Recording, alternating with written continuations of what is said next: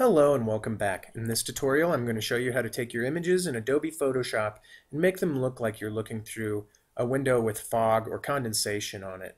Now I'm going to go ahead and just get started. I've actually done a tutorial like this in the past but I find that uh, these techniques are a little bit easier and they go a little bit quicker so here we go. Um, uh, the first thing that you want to do is take your background layer, your image, and you want to make a copy of it. You can press Control J on your keyboard to do that, or you can take your uh, background layer and drag it into your new layer button down there. The next thing that I uh, want you to do is in that layers palette, uh, there's a tab called channels. Click on that. And if this palette's not up, go up to a window, down to layers, and click on that and it'll pop up. So anyway, click on your channels tab and then go ahead and go down to the, the new channel button. It's in the same place as the new layer button. And uh, a new channel will be uh, created and it, it's called Alpha 1. The next thing to do is you go up to Filter, down to Texture, and down to Grain.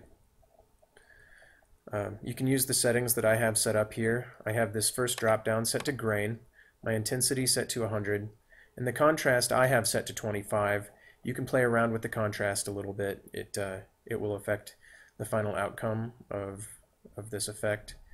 But you need to set the grain type drop down at the bottom to vertical in order to get the right type of effect. Um, and then click, go ahead and click OK. Okay, so this is kind of what it gives you now. Uh, the next thing that I want you to do is go up to uh, Filter, down to Artistic, and then select smudge stick. Go ahead and set uh, set these settings like I have them as well. I have um, at the top here smudge stick because that's the effect that we want. With the stroke length set to 0, the highlight area set to 10, and the intensity set to 10. Uh, if you want to, you can play around with this highlight area, maybe bump it up to 20 or so. And I'll, I'll go ahead and just do that. And I'll press OK. Alright, and you can kind of see what that does. Uh, the next thing that I want to do is go up to Filter, down to Blur, and then add a Gaussian blur. And I want to do that uh, a one pixel radius at the at the bottom there, and then click OK. Go up to Filter once again, down to Blur, and then do Motion Blur, and set the angle to 90, the distance to 7 pixels, and then click OK. And you can play around with all these settings as you're as you're doing this, and you can redo it and uh, change them and do whatever you want to get the the effect that you need. The next thing to do is go up to Image, down to Adjustments, and down to Levels, or you could press Control L on your keyboard. I know from uh, practicing this that I want this bottom level to be set to about 40, and this top uh, white level to be set to around 100. Uh, you can see that that uh, what that does. And you can play around with these as well. See what they what the changes do. I'll go ahead and click OK. Now I know from practicing that uh, some of these lines are a little bit small uh, in my final in my final outcome. So what I want to do is I'm going to shrink down my page and I'm going to press Control and the minus sign to shrink down my canvas there. You can also um, grab your zoom tool from your toolbar and press alt and um, kind of drag it out and that will uh, shrink your your your artboard as well. Uh, now what I want to do is I want to press control T or you could go up to edit down to free transform. And I just want to drag this one side out to kind of make those lines a little bit larger. And then I can either double click on it or select my arrow button and it'll ask me if I want to apply the changes and I'll click apply and I can go ahead and zoom back in on it, press Control 0, or you can do Control and then the plus sign, or you can use your zoom in your toolbar to zoom back in on it. Next thing I want to do is hold down Control on my keyboard and click on that Alpha 1 channel that we created earlier. And what that's going to do is make a selection of this area that we've just expanded and created here. Now in your Layers palette and your Channels palette, go up to the tab at the top and click back on your layers and click on your layer 1 copy that you made. And you can see that the selection moves over there.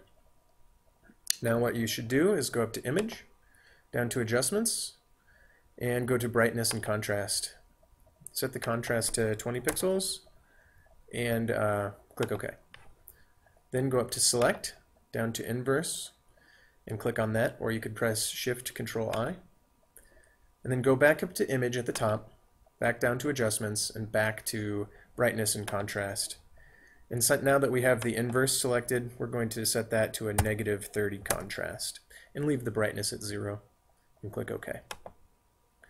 The next thing you want to do is go up to Filter, down to Blur, and then Gaussian Blur. Uh, the higher the radius you set this, the more of the effect you're going to get. And I'm going to set mine to about 15 pixels because I know that that's about what I want for this image. And you can kind of play around with that. This is really one of the most important steps, if not the most important. So go ahead and play around with that and then click OK. Then you can press uh, Control D to deselect, or you can click on your marquee tool and click off to the side somewhere. And you can see what you have. And um, I'm not sure if you can see this very well, but you have a pretty nice effect. Uh, it, there's some blurring, and then there's some clear areas. And this blur kind of, the, the colors kind of come up off into the, uh, into the blurred areas a little bit. And it makes it really look like you're looking through a window or uh, uh, uh, like a foggy window or a window with condensation on it. And that's it, you're done. So I hope you learned something from this tutorial. Uh, please watch my other videos on YouTube. And if you liked this one, please click the like button. And uh, follow me on Twitter and like me on Facebook. And thanks for watching. Also, I would like to add that I, I got this video from uh, a written tutorial online, and I'm going to provide a link in the description area of this video. Um, to that site. So you can also follow these on, on that website in their written directions, and I'd like to thank them for, for posting this. It's a really quite nice tutorial.